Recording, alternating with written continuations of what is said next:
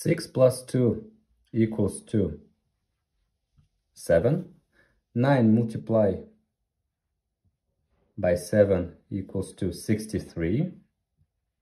And we get 63 divided by 63, which equals to 1. But this answer, of course, is not correct. Why? Because according to the order of operation, which is PEMDAS, or please excuse my dear Aunt Sally, we must do first what's inside the parentheses.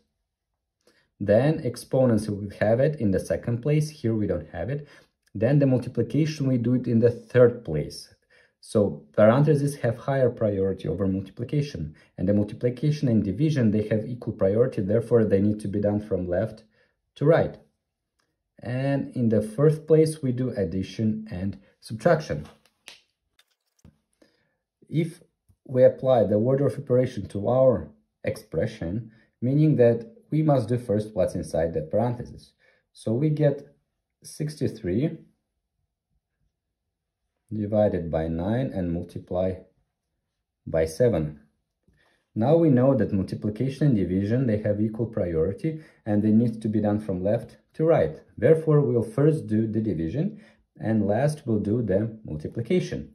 63 divided by 9 equals to 7 and 7 multiplied by 7 equals to 49. Thank you very much for watching. Please don't forget to hit the like button and subscribe to the channel. Ciao, ciao.